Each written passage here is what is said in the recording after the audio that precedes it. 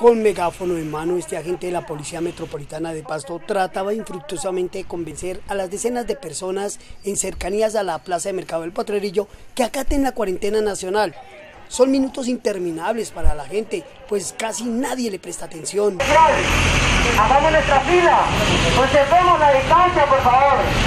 Seamos responsables con nuestra familia el agente insiste una y otra vez. Pues desafortunadamente ese es el trabajo que nos toca a nosotros todos los días, estar encima de las personas como si nosotros fuéramos los padres de familia regañando a nuestros hijos. Pero esto es por un bien común. Sí, señor, eh, desafortunadamente hay muchas personas que de pronto nos tendrán ese poquito de recelo, pero es nuestro deber, es nuestro cumplimiento con nuestra patria y con nuestro pueblo. Él asegura que no se cansará de regañar, si es el caso, para que la comunidad entienda que el aislamiento social salva vidas. Yo creo que falta eso, me falta la correa, porque créame que estamos cansados de decirle, hombre, usted trajo, la cédula.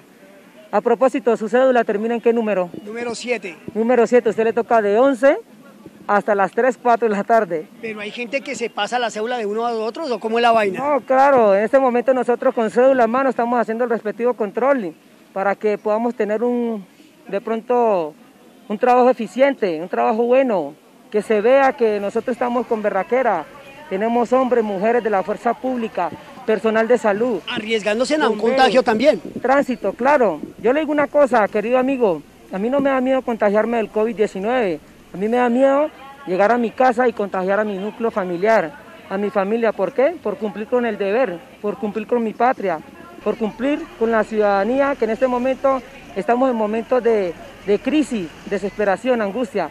Pero créanme que hay un Dios todopoderoso, que si nosotros le dejamos todo a Dios, vamos a salir victoriosos de esta situación. Sí, pero también hay que echarle una manito porque solo Diosito no puede. Claro, claro, claro. Hay mucha gente que no entiende, pero para eso estamos nosotros acá, para, para darles recomendaciones, que utilicen elementos de bioseguridad, utilizar sus guantes, su tapaboca, gel antibacterial, su respectivo alcohol.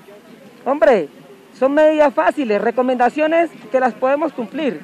Y créanme que así no vamos a tener complicaciones, no vamos a tener problemas. Pues los dejo que siga usted regañando a la gente porque pues además que lo hace muy bien. Sí señor, muchas gracias. Dios me lo bendiga igualmente a ustedes también que están cumpliendo con su deber, llevando la información, llevando las noticias a muchas personas que hoy en día están cumpliendo el decreto presidencial y se están quedando en sus residencias.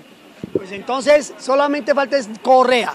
Falta la correa prácticamente, pero bueno, seguimos en nuestra labor. Dios me la bendiga.